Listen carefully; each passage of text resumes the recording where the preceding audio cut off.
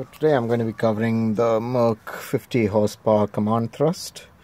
And this has the same gear basically lower gear unit as the 115 horsepower 90 horsepower motors. Um, this one is a 50 horsepower 2014 model. Um, and this is from the online owner's manual from Mercury. Um, we're not going to be doing these in sequence. This is the annual maintenance of the 50 horsepower four stroke um, because these are slightly out of order. So I'm going to be doing um, first doing all the checks of the engine because it's just logical. We'll run through the whole engine and do all the checks. Um, so we'll check all the mufflers, boots, etc., etc. Um, and then we're going to go through um, do the oil change and then followed by gear lubricant. We're not going to be doing the battery because you need to inspect it every time you take it out basically. So um, please inspect your batteries every time you go out in the water.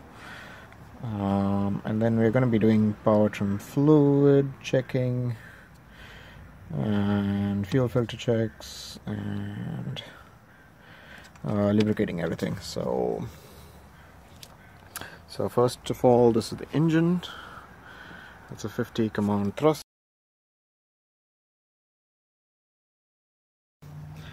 Um, these things are your zinc anodes. Um, I've got hydro stabilizers on mine. These aren't bad. I would not have installed them. Um, but I was suffering from issues with this motor going on, basically going up the plane, and they sort of they have some bad points and some good points but overall they seem to be okay for this application.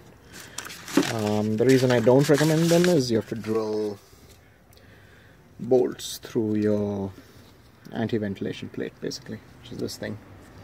Um, and then this is basically a steering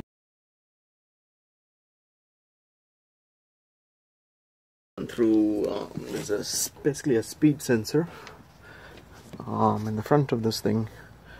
I don't know if you can see it.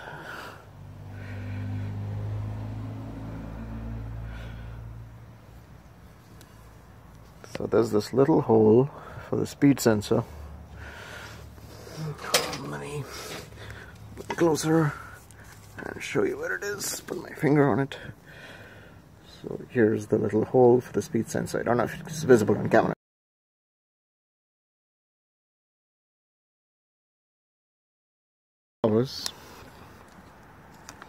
Um, so a little catch out here, pull it out. Basically, you can snap your cover up.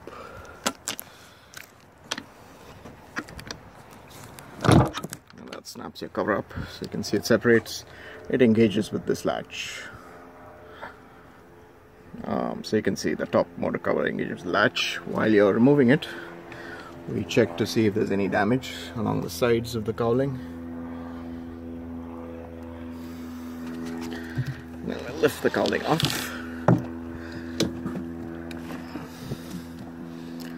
And that's the cowling. While you're in here check. This is basically noise dampening foam. So as long as it's roughly okay you can see a little bit of fraying on mine but that's fine. Um, that's what the cow looks like. This is the emergency if you have an emergency you'd pull off this engage the flywheel and basically start it up manually. Um, so that's fine. The foam looks good. So we have the checklist here which says check internal cowl reduction sound reduction foam. Make sure the foam is intact and not damaged. So it's mostly intact and it's got a little scuffs out here and a few scuffs there but that's fine overall. Um, just check to see if this is not blocked because this is your air intake. So air intake should be unblocked. Um, and that looks okay. I can pass my fingers through it. So overall the cowl looks okay. So we've done this part of the checklist. Um, and then we'll basically run through the whole engine and see the bolts are okay and the securely fastened um, so let's start from the I guess we can start from this side. This is the right hand side from the rear of the engine.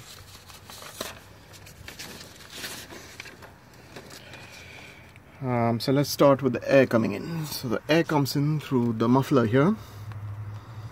Oversized muffler for the air intake. It goes through to the fuel distribution manifold which is this one here which I'm pointing at and then the fuel distribution manifold has an injector on each end. And that just basically check to make sure it's tight and everything looks okay. And that passes up to the spark plugs. One two three and four. And those are your four iridium tip spark plugs. So these are pretty good life. So check the wiring.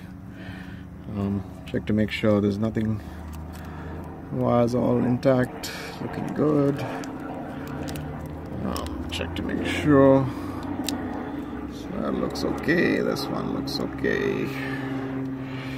This one looks okay and then finally this one looks okay. So boots are secure.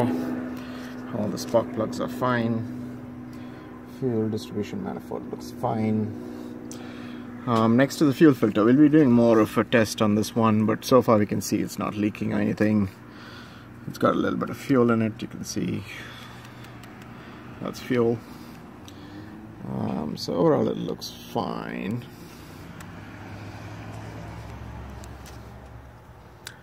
Um, me go around the front fuel distribution you can see the hose. So my hose looks okay. There's no fraying on the hoses um, by and large model looks okay. It's a little bit dirty inside here but that's fine. You can clean it out a little bit. Um, the blue wire which is this one you may not have in your motors because this is a SmartCraft wiring.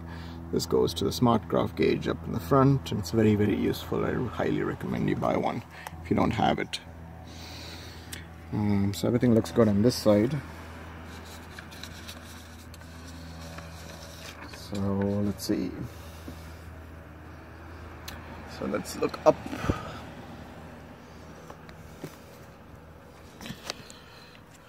And up here is your alternator um, with uh, Kevlar. Kevlar drive belt. And the Kevlar drive belt me, looks okay. Make sure you check for frays. Alternator looks okay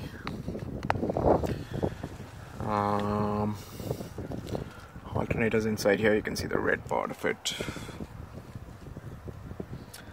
Um, it's an 18 amp alternator and it's got a flywheel. So everything looks good. Um, that's my oil filling port which I will be using shortly. Um, that looks fine. This little thing with the little arrows that's your mechanical fuel pump that's a backup to your electrical fuel pump and that's due to Coast Guard requirements. Um, so that also looks fine at least visually.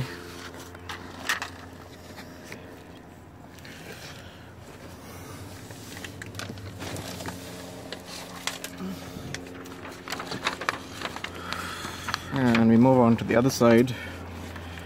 We've got these two things which are ignition coils. So you can see one two three one and four ignition coils for the force. Basically the four cylinders of the engine. It's a four cylinder engine. Um, moving on.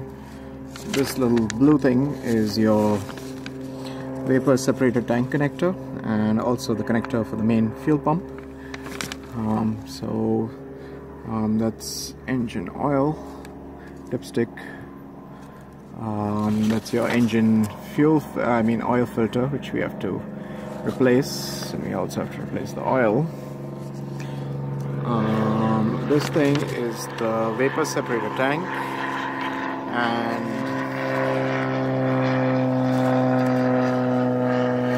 um, that houses your main uh, fuel pump your electrical fuel pump that is.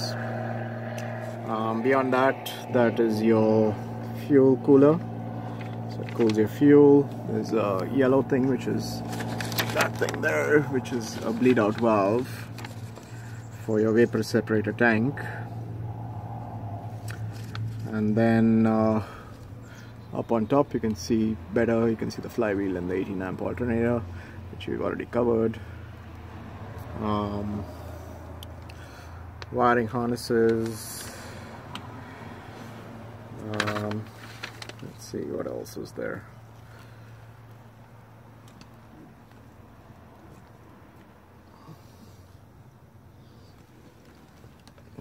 Um, let me climb up a little bit